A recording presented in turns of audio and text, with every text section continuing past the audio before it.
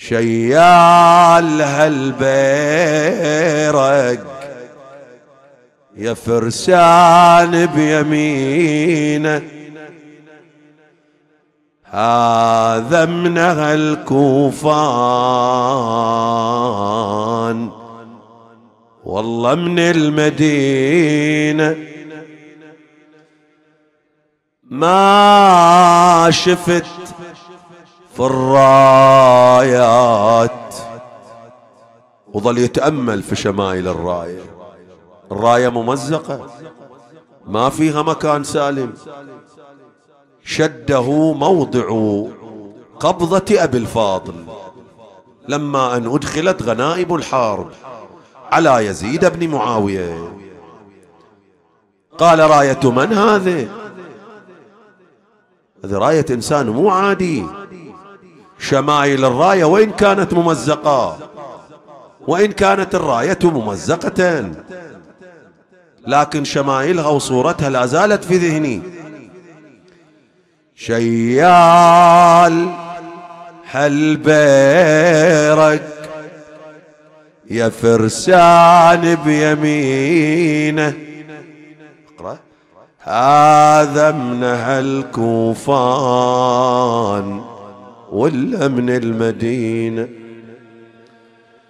ما شفت في الرايات الراية مثلها بضرب الهناد موزعة يا قوم كله الفارس اللي شالها وبالعرق فلها.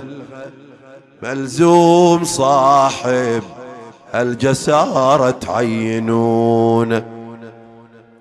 ليش يسأل يزيد قال أنا كن شفتون مثل التصوير الآن شعراء ما شاء الله.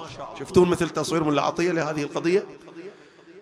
أويلي كني شفت حبيب حيدر يوم صفين. لا لا هي هي بإيد العباس لأنه هو شارك عمره 17 سنة. شارك العباس وهاي الراية بيده. كان شفت حبيد حيدر يوم صفين يحمل على أهل الشام بيها شمال ويمين. شيالها بالله عليكم قولوا منين؟ قالوا حملها بالفضل حامي الضعين. كف على كف قال إيه ما يحملها الا مثل هذا. لا تشوف صلاة علينا يوم جانا. شوف التوصيف من ملا عطية. لا تشوف صلاة علينا يوم جانا ضيق علينا الواسعة وغيم سمانه فاضت طفوف الغاضرية من دمانه زعلان لكن نور يسطع من جبين. أويلي عليك. أويلي أويلي أويلي زعلان زعلان. يعني مغضب من أجل الحق لكن نور يسطع من جبين. بعد. طبل الشريعة وبالقلب لاهو بجواي. وخاض بيمينه وترس كفه وما اشرب ماي.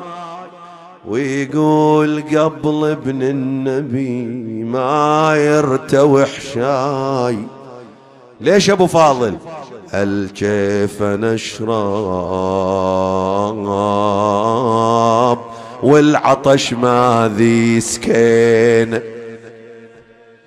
قالوا لولا القضاء يقول سيد جعفر الحلي لولا القضاء لمحل وجود بسيفه والله يقضي ما يشاء ويحكم حسمت يديه المرهفات وإنه وحسامه من حدهن لأحسم.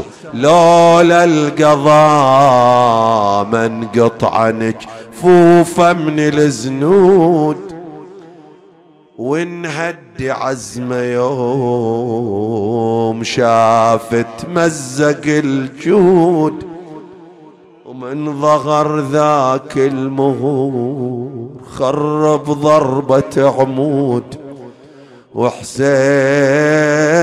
قلت حيلته من بعد عينه. وين زينب؟ يا ملا عطية مو حاضرة؟ هي حاضرة بمجلس يزيد زينب تنادي. هم يقولون هم يقولون زينب على باب الخيام. زينب تنادي. يا جمال الهاشمية عسى يا ربي عودك الباري علي. بس ما صرخ زلزل نواحي الغاض ريا أين الصارخون وحسين نار